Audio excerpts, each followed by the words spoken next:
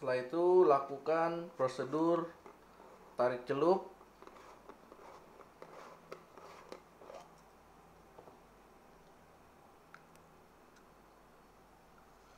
Kemudian tiriskan.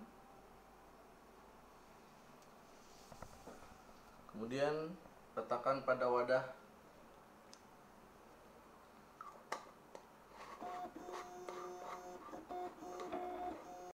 tiga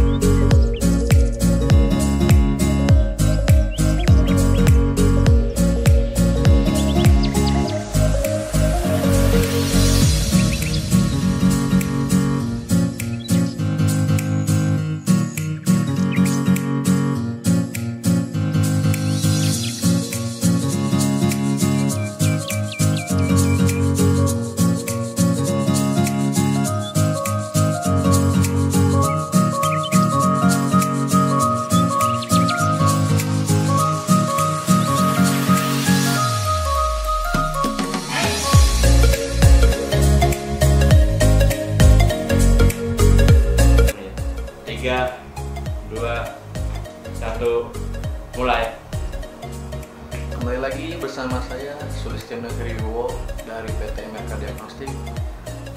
Pada kesempatan kali ini saya coba akan menjelaskan tentang cara bagaimana menggunakan alat Purixon 500 dari Mancaya Negel yang diproduksi dari Jerman.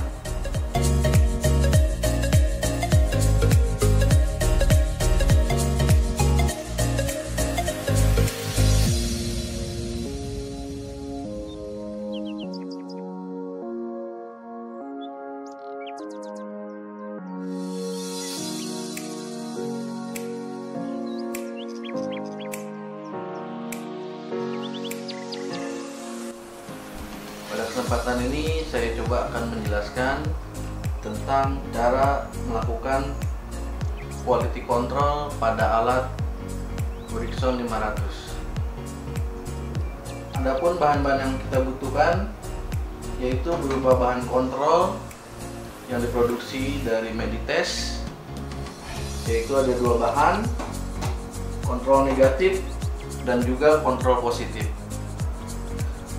untuk bagaimana cara menjalankannya, berikut prosedur dan tata cara sebagai berikut. Pertama-tama pastikan bahwa alat terhubung dengan sumber tegangan listrik. Untuk cara menghidupkan alatnya cukup mudah dengan cara menekan tombol on off yang terletak pada bodi bagian belakang alat.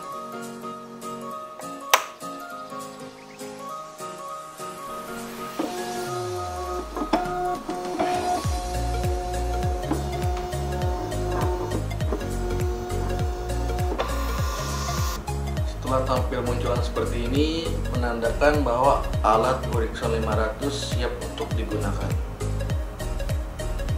Untuk melakukan pengukuran kontrol, bisa kita lihat pada lembar SOP halaman 6 bagaimana cara melakukan uji quality control dengan alat Purixon 500. Adapun tata caranya sebagai berikut. Dari tampilan menu, kita klik menu kemudian kita pilih menu cek mode lalu kita lakukan klik control measurement. Perhatikan tanda yang tertera di atas insert negatif strip masukkan strip negatif.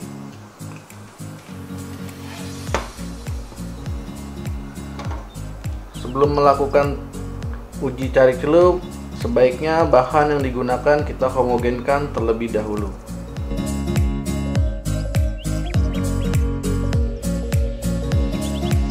Kemudian ditiriskan. Kemudian kita letakkan pada wadah alat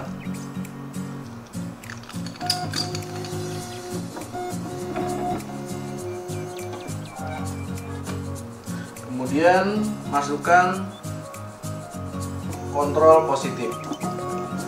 Prosedurnya masih sama. Homogenkan sebelum melakukan uji tarik celup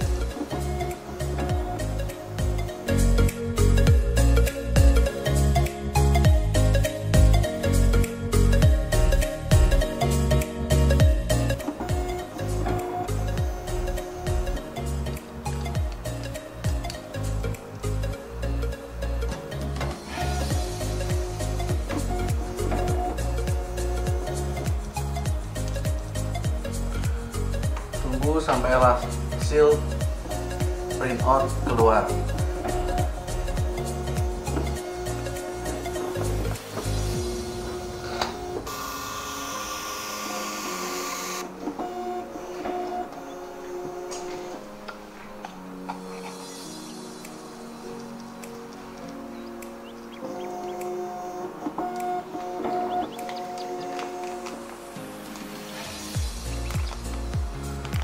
Setelah hasil printout keluar, kita bisa mencocokkan hasil kontrol dengan nilai yang tertera di dalam kemasan pada Meditest Control.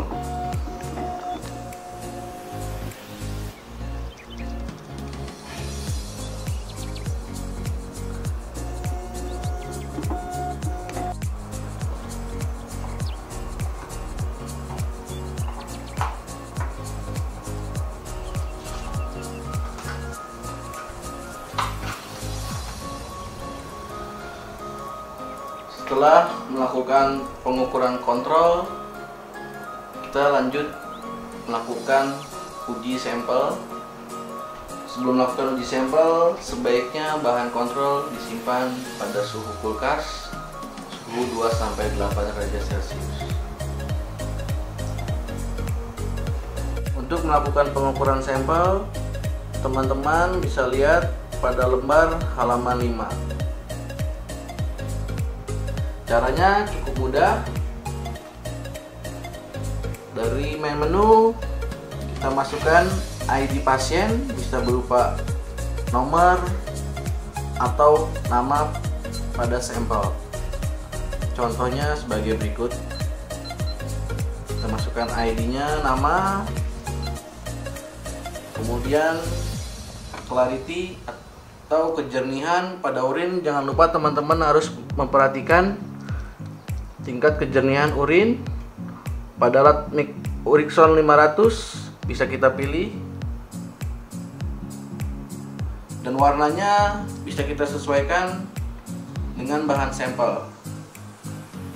Kalau sudah kita pilih kemudian kita checklist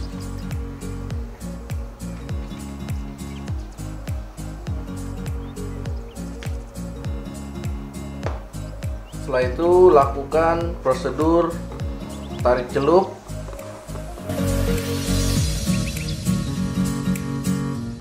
Kemudian tiriskan. Kemudian letakkan pada wadah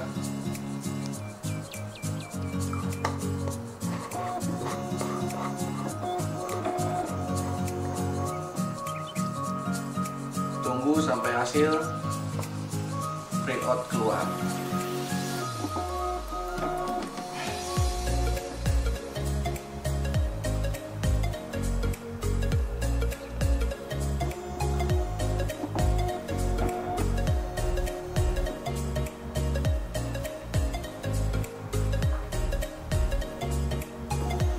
Jika ada sampel berikutnya, kita tinggal masukkan ID selanjutnya.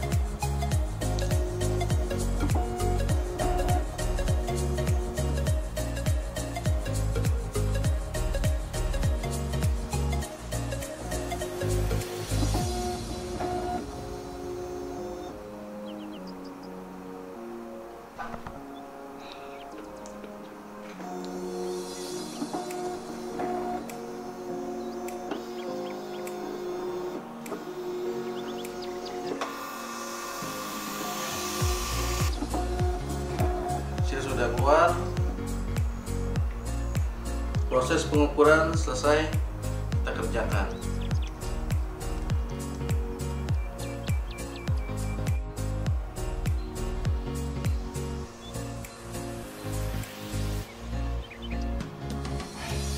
Demikianlah prosedur cara menggunakan alat Kurikson 500 semoga bisa membantu rekan-rekan dalam menjalankan alat Kurixon 500. Adapun kekurangan, teman-teman bisa komen di channel YouTube MRK Diagnostik.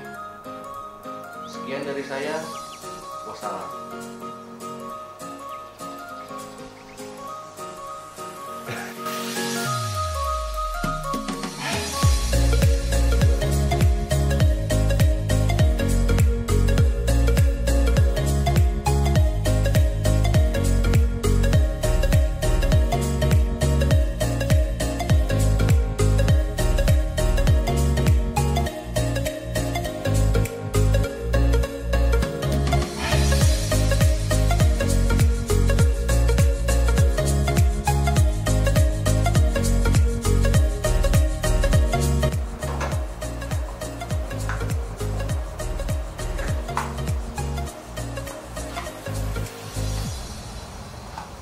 Setelah proses pengukuran kontrol selesai, selanjutnya kita akan melakukan pengukuran sampel.